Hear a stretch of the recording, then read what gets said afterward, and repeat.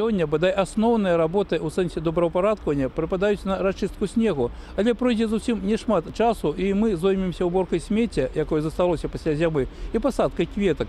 У год культуры без культуры на зямлі ніяк не абысціся. Вуліца садовая ў аграгарадку галоўчыцы Нараўлянскага района сапраўды адпавядае сваёй назве. Гэта зараз пад снегам нельга ацаніць усё яе прыгажосці, а вясной практычна каля ўсіх дамоў з'явяцца кветкі. Галоўнае захапленне Аллы Беразоўскай ружы кажа, што рэгулярна чытае спецыялізаваную літаратуру і сама праводзіць нейкія вопыты. Сёння на падворку некалькі гатункаў руж, але жанчына марыць вырасціць так званую штамбавую ружу. У беларускіх садах яна пакуль рэдкасць, хоць і лічыцца сярод гэтых кветак своеасаблівай арыстакраткай. Хочу попробовать э, сделать, э, вырастить штамбовую розу.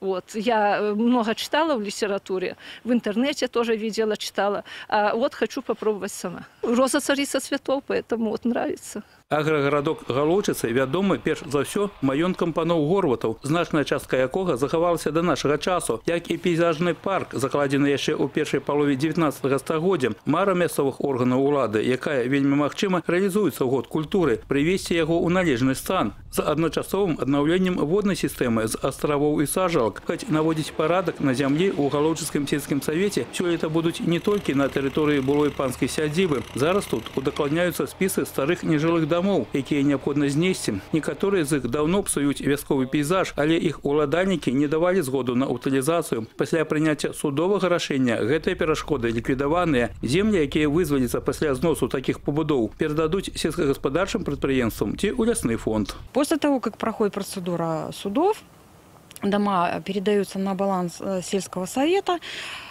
а, принимается соответствующее решение, а именно снос данных домовладений.